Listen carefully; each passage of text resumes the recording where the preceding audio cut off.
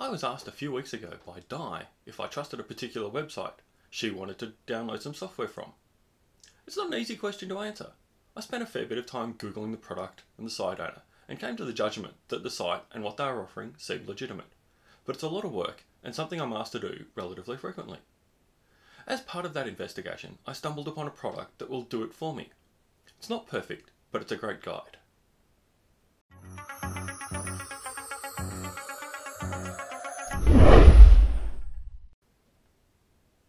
Today, I want to introduce you to WOT, W-O-T, the Web of Trust extension for Google Chrome and other browsers. We discussed extensions a few weeks ago, so I won't go over that again.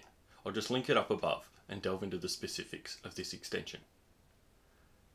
WOT is a free extension that checks the reputation of each site against WOT's database of trust, gleaned from millions of users across the internet.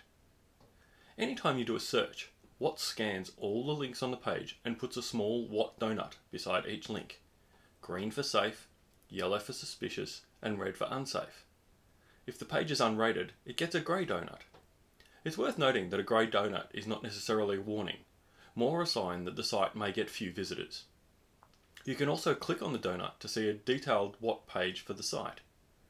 If you try and go to a site with a poor reputation, a pop-up will appear warning you that the site is potentially malicious. Really handy. One other nice feature is that if you're reading your email in Chrome, WOT will highlight the unsafe links in email without cluttering the page with all the safe links. This can be another handy tool for spotting scams in emails.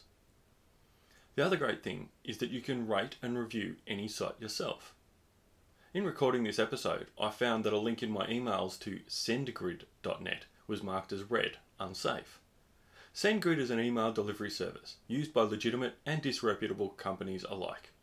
I was able to go in and rate the site as yellow, suspicious, which I believe more accurately represents the site, and I also left a detailed review explaining why.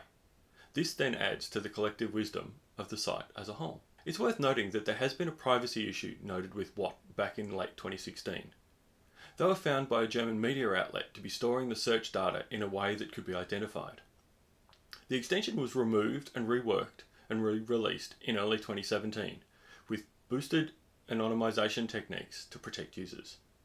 I'm not one to get massively hung up on privacy issues, but if you're really concerned, then you've been warned. I personally think this is an excellent extension, especially for users nervous about the websites they're going to. A special thanks to Di for her question.